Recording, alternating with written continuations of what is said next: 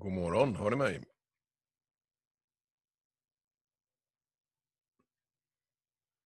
Ja, jag fick ett svar i alla fall. Eh, ja, välkomna till det här Zoom-mötet som är frågestund och om man vill ha diskussioner och vad det kan vara för någonting.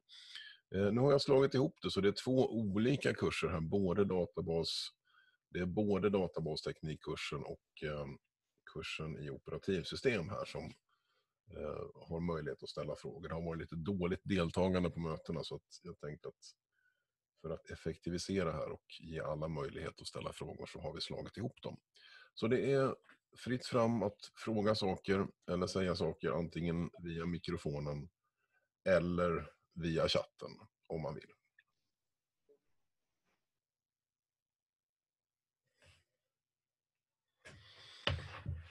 Ja, som sagt, för nytillkomna lyssnare, det är okej att ställa frågor antingen via chatten eller med mikrofonen. Och det är två olika kurser nu, så man kan ju börja med att säga vilken av kurserna det är som man har frågor om.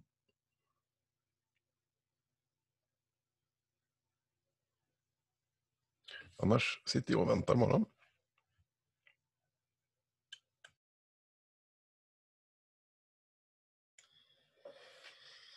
Ja, här kommer en fråga. Ska vi kunna koda cursors och triggers och procedures till tentan i eh, databaskursen då? Eh, eller bara förstå hur man kan använda dem? Ja, nej, det kommer inte att bli några programmeringsfrågor med, med triggers och procedures, utan jag tror det står i, i eh, läsanvisningarna, i kursinnehållet, att man ska förstå dem. Så att eh, det skulle ju kunna komma någon fråga där man till exempel visar exempel på triggers eller att man vilka triggers skulle behövas. Men det är inte några, några programmeringsuppgifter med eh, triggers och lagrade procedurer och så. Okej. Okay.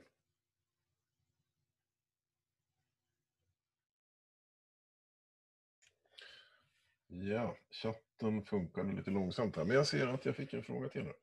Eh, hur många poäng får man i avdrag för uppgift 1 om man bara har en relation fel? Till exempel om man har glömt att skriva 1 till 1 eller m till 1.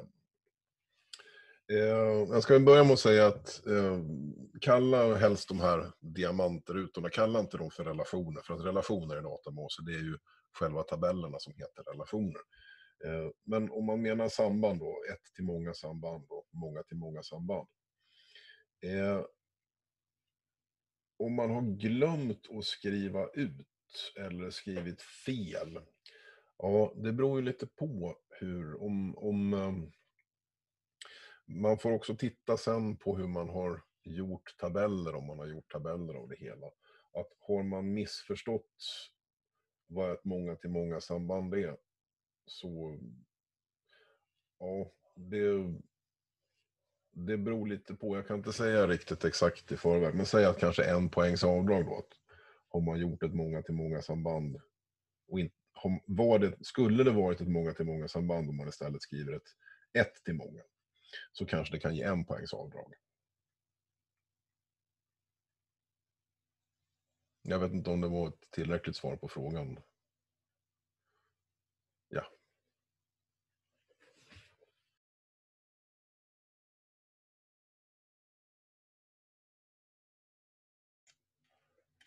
Ja, här kom en fråga om eh, webbdatabaser. Om man vill göra en databas tillgänglig genom en webbsida. Vilka metoder använder man då? Det är den frågan i databaskursen. Här.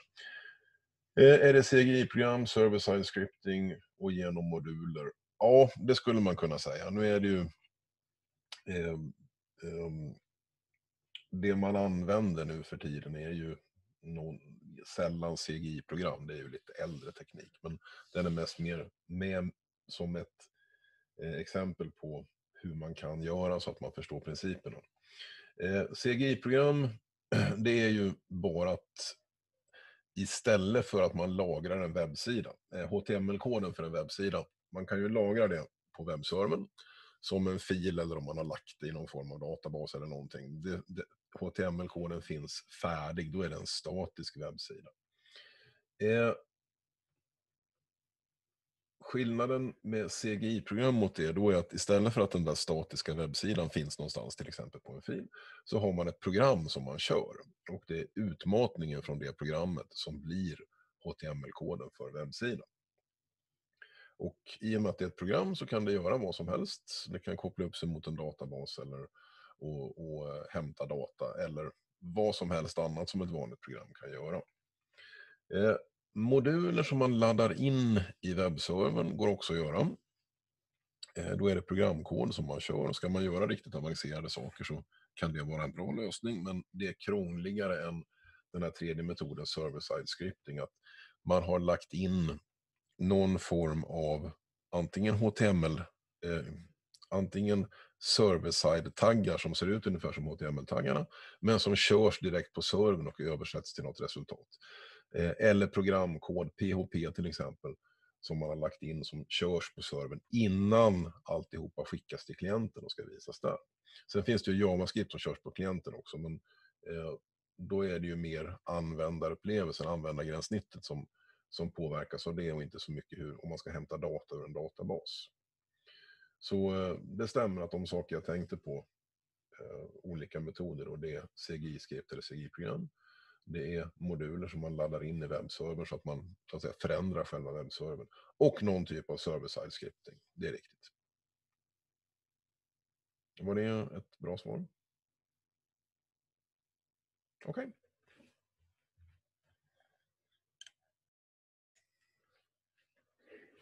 Ja, en databasfråga till här. Eh, kan jag ge ett exempel på skillnaden mellan tredje normalformen och Boys Cods normalform? Och det är ju ehm, inte så stor skillnad egentligen, utan eh, det, är ganska, det är till och med ganska krångligt att hitta på ett exempel som uppfyller BCM, eh, tredje normalformen, men inte BCMF. Vad det handlar om är om man har flera stycken kandidatnycklar som är överlappande och så har man beroenden mellan dem. Eh, låt mig eh, rita lite. Där. Eh, om vi ritar upp en, en tabell med lite, lite eh, attribut och så, då ritar jag tabellen på det här viset. att Här har jag en tabell med en massa kolumner på det här viset. Kolumnen A, B, C, D och E. Alltså gör jag tabellvyn så ser den ut så här. A, B, C, D, E. Och sen tänker vi oss att primärnyckeln är, det kan antingen vara A och C tillsammans, så det är kandidatnyckel nummer ett. Eller så kan det vara A och B tillsammans, kandidatnyckel 2. Och man har valt någon av dem som primär, primärnyckel, men det spelar ingen roll. Någon av dem är kandidat, eh, någon av dem är primärnyckel. Eh, då kommer vi att ha funktionella beroenden från, eh, om jag ritar funktionella beroenden med rött här, från varje eh, kandidatnyckel till alla de andra. Så att om vi tar kandidatnyckel 1 så har vi beroenden till B, D och E. Och har vi kandidatnyckel 2 så har vi beroenden till C, till D och även till E. Men säg att eh, eh vi har inte det där beroendet där på hela kandidatnyckel 2 till D. Utan för D så räcker det om det bara är eh, B. Det räcker om vi bara vet B. Och om vi nu tittar på definitionen av normalformerna här. Så eh, första normalformen enbart atomära värden och eh, enkla. Ett enda sånt, vär sånt värde i varje ruta i tabellen. Andra normalformen, inget icke-nyckelattribut får vara beroende på bara en del av en kandidatnyckel. Och då skulle man ju kunna tro att det här, Eh, det är ju beroende på bara en del av kandidatnyckel 2, men definitionen säger att icke-nyckelattribut får inte vara beroende på en del av kandidatnyckeln. Så att vi har det dumma här att eh, i och med att eh, nu tänker jag helt tokigt här. Ursäkta, jag måste backa lite grann här.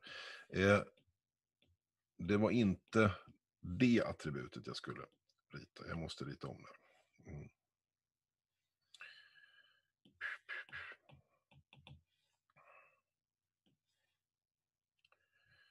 Hade kandidatnyckel 2 och jag hade fortfarande kvar eh, det där beroendet. Det jag tänkte säga var att C, den ska inte vara beroende av hela eh, kandidatnyckel 2, utan den ska bara vara beroende av B på det här viset. Det var det här beroendet som jag tänkte visa dem. Ja, eh, om vi backar tillbaka då så sa jag att eh, vad andra normalformen säger, det är alltså att inget icke-nyckelattribut får vara beroende av bara en del av en kandidatnyckel. Och som vi ser här, icke-nyckelattribut är ju D och E, för de är inte med i någon kandidatnyckel. Däremot, C här, det är ju inte ett icke-nyckelattribut, utan det, det, är ju med i kandidatnyckel 1. Så att eh, det är Eh, ett nyckelattribut och alltså uppfyller den här tabellen andra normalformen. Och sen samma sak med tredje normalformen, den säger inga transitiva beroenden, det vill säga icke-nyckelattribut får inte vara beroende av varandra. Så att hade vi haft en pil mellan D och E så hade det inte uppfyllt tredje normalformen. Men igen då, C är ett nyckelattribut eftersom det är med i kandidatnyckel 1. Så att vi kan ha ett beroende från B till C och det uppfyller ändå tredje normalformen. Det BCNF gör, det är att det förbjuder även den där typen av beroende. Så att det här är inte BCNF. Det uppfyller tredje normalformen men inte BCNF. Och som ni ser då så, det är, det var ju till och med så svårt att göra ett exempel så att jag rörde till det här själv. Eh, det är inte så man har inte så stor nytta egentligen av BCNF, förutom en sak som är väldigt praktisk med BCNF. Och det är att den är lättare att definiera. Istället för att hålla på och prata om eh, inga beroenden av delar av kandidatnycklar och sen dessutom så ska det vara inga beroenden mellan icke-nyckelattribut, bla bla bla. Så säger man bara att ja, alla fullständiga funktionella beroenden för att det ska vara BCNF ska gå från en kandidatnyckel. Så att om jag tittar på de röda pilarna här, så ja, allihopa utom just den här tjocka pilen här går ju från kandidatnycklar. Så att jag ser direkt att det här uppfyller inte BCNF för att det finns en pil här som går från någonting annat som inte är en kandidatnyckel. B är ju inte en kandidatnyckel utan det är bara en del av en kandidatnyckel. Så fördelen med BCNF är inte så mycket att den löser några problem eller hjälper oss så mycket utan det är mest att eh, den är lättare att definiera och är lättare att kolla därigenom. Pil från något som inte är en kandidatnyckel, ja, inte BCNF. Ja, sen ska vi komma ihåg den där med första normalformen också. Den måste också uppfylla att det bara är enskilda, enkla, eh, ett enkelt värde i varje ruta i tabellen. Det måste också vara uppfyllt. Men sen är det det där med varje determinant, allt som en pil går ifrån, ska vara en kandidatnyckel. Och det finns ett exempel i boken med gator Eh, eh, som visar någonting som är BCNF, eh, som är tredje normalformen men inte BCNF. Men det är ett lite besvärligt exempel och som sagt då det, det är den stora vinsten med BCNF är inte vad, vad den hjälp, vilka problem den hjälper oss att lösa utan det är att den är lättare att definiera än tredje normalformen. Var det ett okej okay svar? Ja. Och det går som sagt bra att ställa frågor både med mikrofon eller i chatten.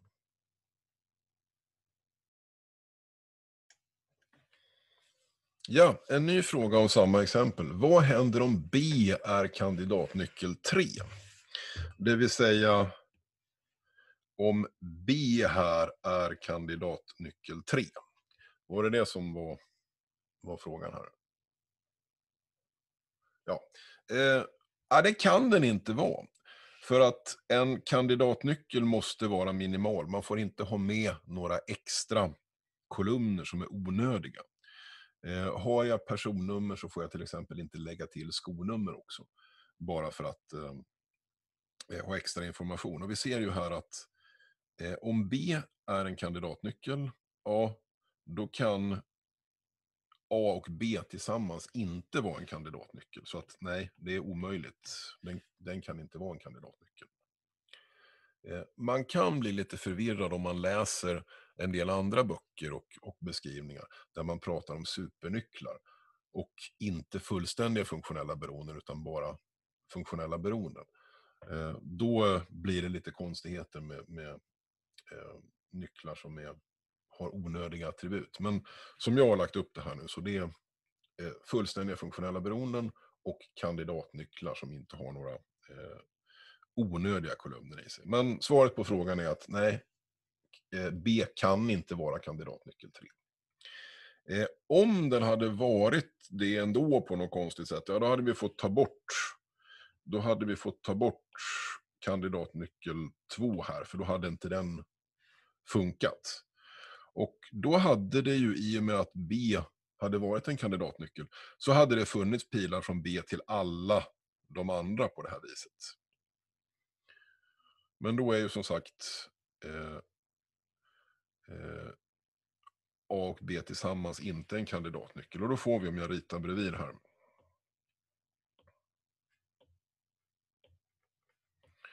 A, B, C, SDE. Vi har fortfarande kvar A och C tillsammans som en kandidatnyckel och sen var B en kandidatnyckel. Eh, som inte är sammansatt. Och då får vi pilar från den ena kandidatnyckeln till alla de andra. Och från den här kandidatnyckeln också till alla andra på det viset. Och då kan man ju nämna då att det är, ing det är inget som hindrar att man har två kandidatnycklar i Boys Codes normalform, utan det går bra. Det är bara det att, eh, precis som förut då, vi får inte ha några beroenden på någonting som inte är kandidatnyckel. Okej, okay, var det ett svar på den frågan? Okej. Okay.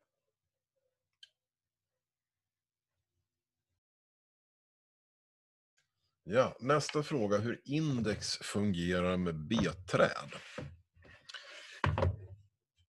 Låt mig se här. Jag ska bara kolla så att jag inte säger för mycket här, för det beror ju lite på också vad, vad eh, som hur mycket av det som ingår i kursen egentligen.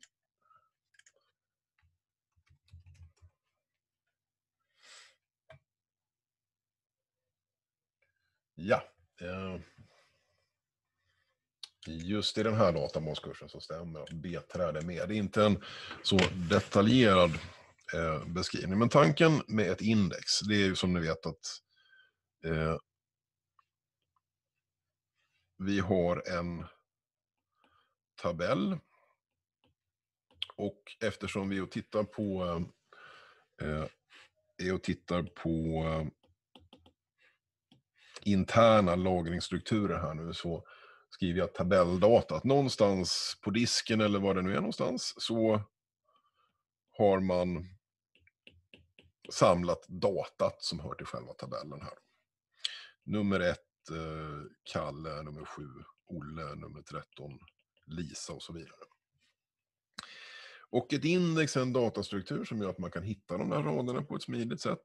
Och låt oss göra då det som kallas ett sekundärindex. Att, eh, vi ska inte gå på nummer för, eh, som den är sorterad efter, som datat är sorterat efter, utan vi ska gå på namn här. Så att jag gör någon form av index här som, där det står namn och sen har jag en pekare här in i den riktiga tabellen.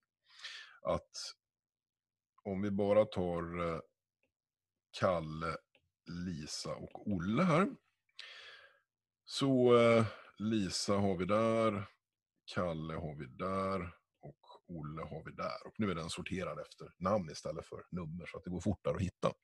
Men grejen är ju att på riktigt så är det inte bara en, en ostrukturerad eh, lista eller tabell här, utan vi bygger en trädstruktur. Och en trädstruktur, hur ser den ut då? Jo, eh, det kan vara ett antal olika sorters trädstrukturer.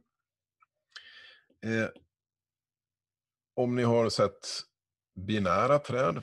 Eh, om ni har sett binära träd så har ni sett det. Men B-träd är ungefär som... B-träd påminner om binära träd, men istället för att man har två träd under varje så eh, har vi eh, flera träd. Och idén med det är att man, man tar ett diskblock, för när man läser från en disk eller SSD så läser man ett helt block åt gången. Eh, från början var det 512 byte bara, men nu så är det flera, flera kilobyte, några, några tusen tecken. Och säg att B-trädet ser ut så här. Då har vi först, eh, vi har ett värde här och om vi har Kalle och Olle att hålla reda på så kanske det står, eh, låt oss säga att vi har många fler. Vi har Anna, vi har Cesar, vi har Kurt. Och sen har vi de här pekarna, precis som ett binärt träd så har man pekare till underträd på det här viset. Och om jag kommer ihåg binära träd så skulle man kunna rita det så här. Albert, och så pekar det där och där. Och så har man underträd här. Och i det binära trädet så är det ju så att alla som kommer i bokstavsordning före Albert finns i det här trädet. Alla som kommer i bokstavsordning efter Albert kommer i det trädet. Och på samma sätt funkar B-träden då. Alla som har ett namn som kommer före Anna finns i det trädet. Alla som är mellan Anna och Caesar kommer där. Alla mellan Caesar och Kalle kommer där. Och alla som är efter Kalle, till exempel Lisa, kommer i det trädet. Och fördelen med det här är att i och med att man har fler underträd under varje nod i trädet så blir trädet mycket lägre. För att ett binärt träd, det är ju, om ni kommer ihåg att ni har läst det någonstans, så två logaritmen för antalet värden jag ska stoppa in i trädet. Det är höjden på trädet, hur många nivåer det blir, eh, är proportionerligt mot två logaritmen. Här så blir det istället, i det här fallet, fyra logaritmen. Så att trädet blir lägre. Eh, sen när man stoppar in saker, hur trädet byggs upp och så, det bryr jag mig inte om att förklara för det, det kommer jag inte att fråga om. Eh, men principen, idén med B-träd är ju då att de är lägre. Och eftersom det blir färre noder man måste titta på så går det snabbare. Eh, var det en någorlunda förklaring på B-trädsindex? Jag kanske ska lägga till då att då finns det ju dessutom, pekarna finns här här nere in i den riktiga tabellen. Var det en förklaring? Ja. Vad bra. Sen, de gamla tentorna, kommer en fråga till här om databaser, nämner CTIR. Är det något som vi har gått igenom eller kan vi använda vyer istället? Eh, jag tror att CTIR var inte med på de inspelade föreläsningarna för att eh, Mimer hade inte CTIR. Men en CTI är ju en vy fast den finns bara i en fråga. Så att det funkar bra att använda vyer istället för CTI. Jag kommer inte att kräva att man använder eh, CTIR. CTI. Okej? Okay?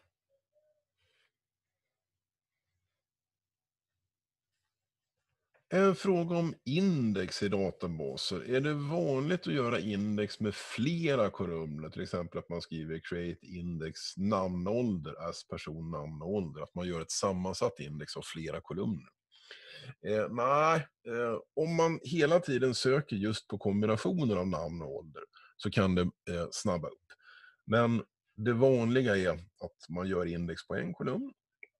Och man får tänka också på att har man ett index på namn och ålder tillsammans så eh, kan man söka på kombinationen namn och ålder. Man kan normalt söka på namn. Men det snabbar inte alls upp om man söker på ålder. För vill jag ibland söka på ålder så får jag då göra ett separat index just på ålder. För att namn och ålder, det är ungefär som att man i ett, eh, en vanlig ordlista skulle söka på andra halvan av ett ord. Ja, då måste man ju läsa igenom hela ordlistan så att det, det hjälper inte. Så att, nej, det är inte särskilt vanligt och jag kan nästan garantera att jag kommer inte ha några kombi, eh, sammansatta index på tentan utan det eh, är, det kommer att vara enskilda kolumner som man ska göra index på där. Okej? Okay?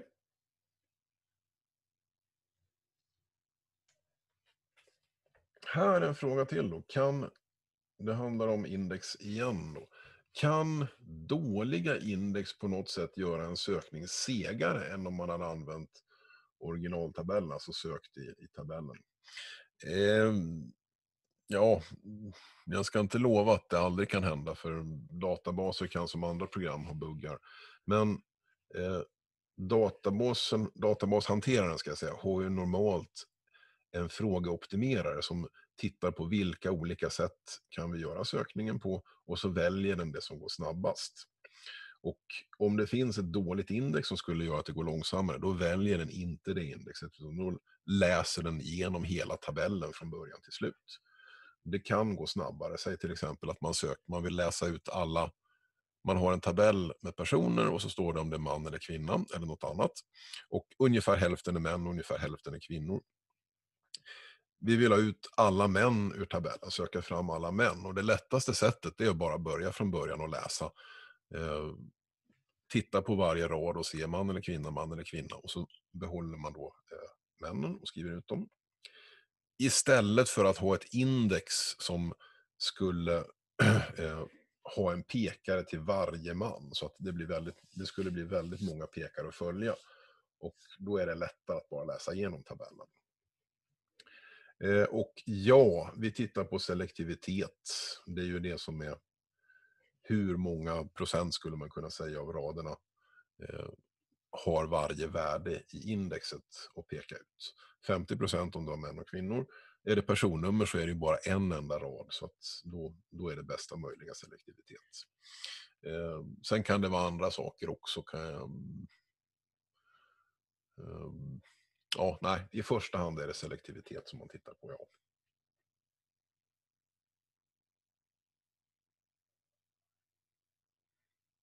Okej, okay, ja.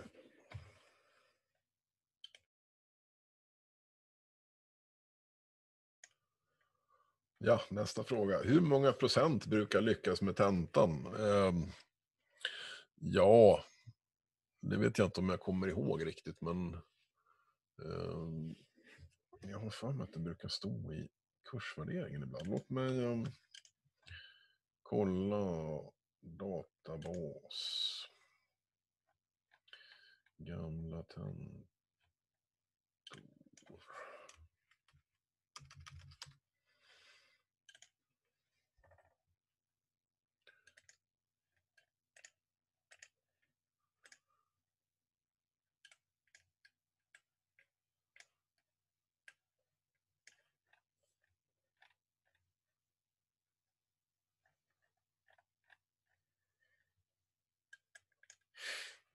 Förra årets tenta i kursen databasteknik för civilingenjörer.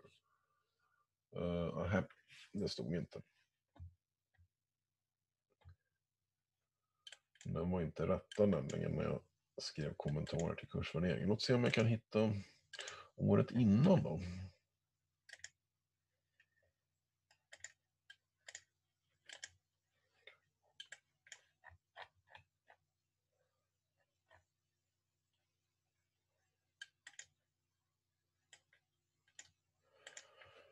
Uh, ett tidigare år så var det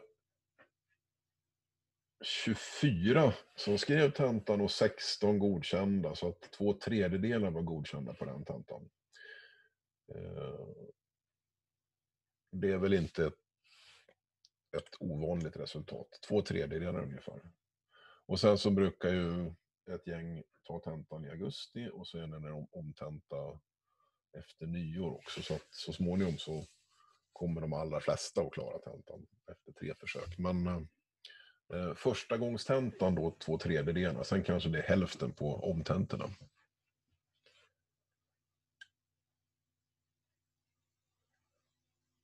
Okej. Okay.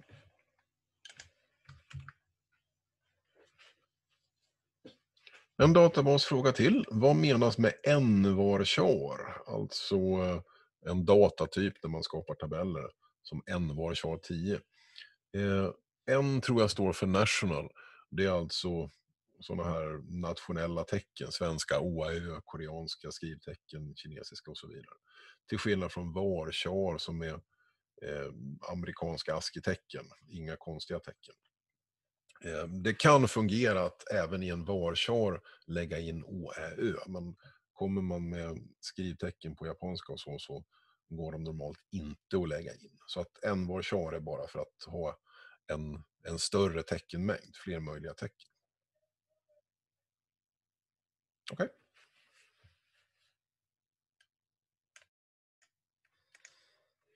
Ja, en fråga om inlämningen av tentan. Kommer vi att få extra tid för att lämna in allting som till exempel inskanning? Ja, Eh, det brukar vara fyra timmar, nu är det fem timmar istället. Så att om tentan börjar kvart över åtta, jag tror ni gör det va?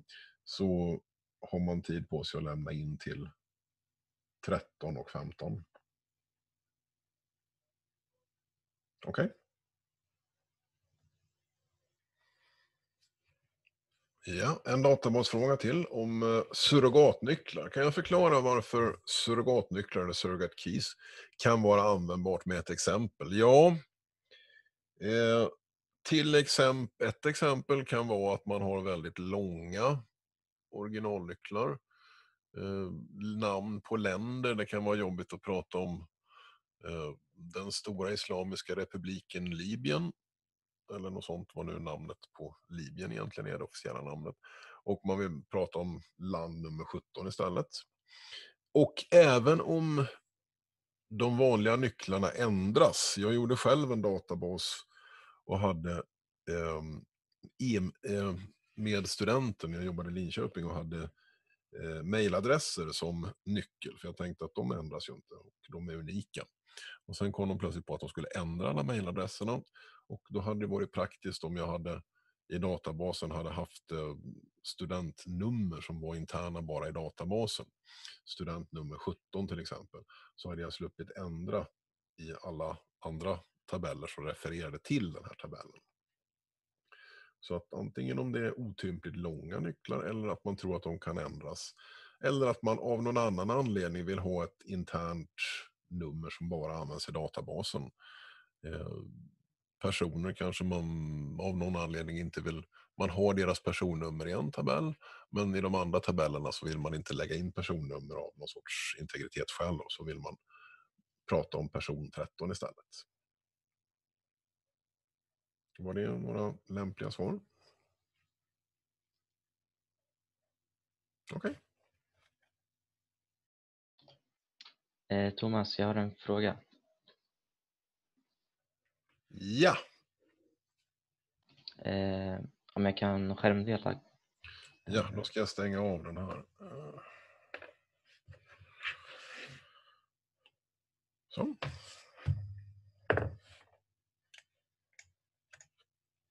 Nu borde det funka.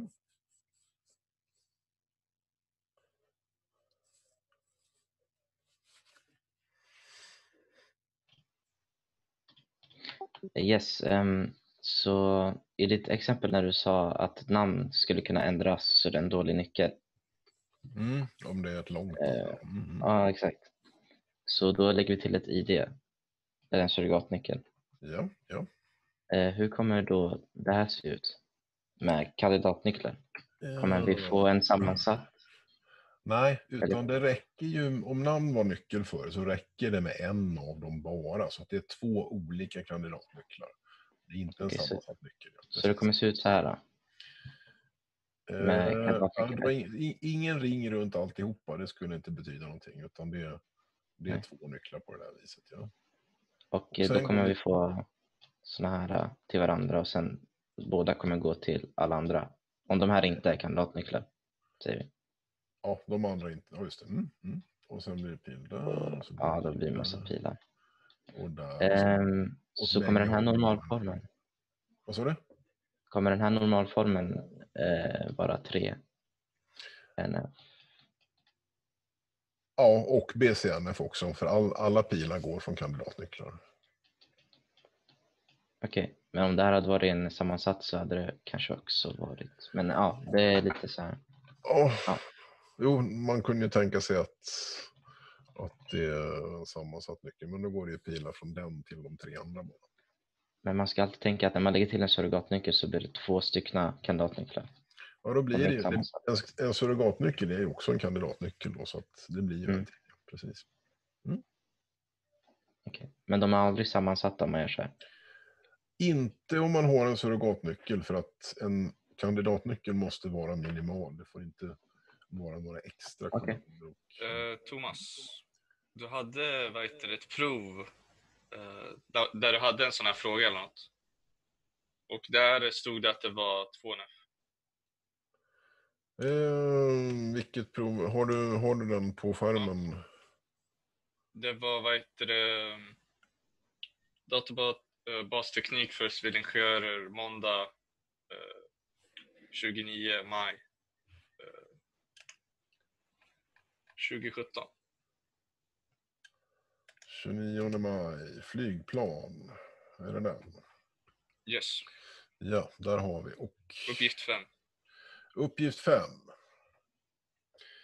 Eh, eh, vilken är... Då ska vi se ID, beteckning och nu kommer jag inte ihåg riktigt uppgiften här, men... Eh eh, eh, eh. Jo, det var flygplansmodeller så att man har... Nej. Eh, är det varje enskilt... Är det flygplan man har i den där? Jo, det stämmer. Och så har vi varje flygplan och var den kommer ifrån. Eh, ja, är det inte så att det är andra normalformen eftersom det finns ett funktionellt beroende från bolag, till exempel SAS, till bolagsland, som Sverige. Så då kan den inte uppfylla tredje normalformen. Men vi har, hade det inte varit för bolagsland så hade det funkat, då hade det varit BCNF. Stämmer inte det? Så det är okej okay att det är ett transversiellt beroende mellan kandidatnycklarna? Uh, vad sa du? Okej okay att det är... Vi säger att bolag och eh, bolagsland inte fanns. Ja, vi tar bort de två sista kolumnerna. Ja. Mm. Vad skulle hända då? Skulle, så det är okej okay att uh, ID bestämmer beteckning och uh, både ID och beteckning bestämmer till exempel modell? Eh, jag får nog ta och rita lite grann här så att det framgår yeah. vad jag menar här. Eh, whiteboard. Då har vi ju då... Eh, låt mig backa. Så. Här har jag ID. Och så har jag beteckning som bägge är nycklar. Så vi har kandidatnyckel 1 som är en surrogatnyckel och kandidatnyckel 2 som är eh, beteckningen på flygplanet. Vi har modell och vi har inget bo... Oh, tillverkare har vi också, tillverkare. Så. Och de funktionella beroendena nu, det blir ju då, ja, från den här nyckeln till alla andra och från den där nyckeln till alla andra. Det där blir eh, de funktionella, fullständiga funktionella beroenden som vi har. Eh, stämmer det? Ja. Nu håller med? Ja. Och då är det BCN för att eh, alla pilar går från en kandidatnyckel. Det finns ingen pil som går till någonting som inte är en kandidatnyckel och sen, eller det, fin det finns inga transitiva beroenden, för ett transitivt beroende är från en nyckel till ett icke-nyckelattribut och sen vidare till ett annat icke-nyckelattribut. Så till exempel om eh, man har modell på det här viset. Vilket kanske egentligen är på riktigt då att eh, jag kommer inte ihåg om det var vad uppgiften sa för någonting om eh, eh att om Boeing gör en 787, om Saab kan göra ett eget flygplan som också heter 787. Eh, men hade det varit så att modell hade haft ett beroende till tillverkare, då hade det ju inte varit BCNF. Då hade det bara varit andra normalformer och inte tredje. Men om vi inte antar att den där finns, då är det BCNF. Då är det inga problem med den. För transitiva beroenden, det är beroenden mellan icke-nyckelattribut. Här så är det ju bara att kandidatnycklarna bestämmer varandra. Det måste de göra eftersom de är kandidatnycklar. Var det ett begripligt svar eller? Ja. Okej, okay. jättebra. Och nu är klockan efter tolv så att om det inte är några andra frågor så kommer jag alldeles strax att stänga ner det här och gå och äta lunch istället. Jag väntar någon minut till bara.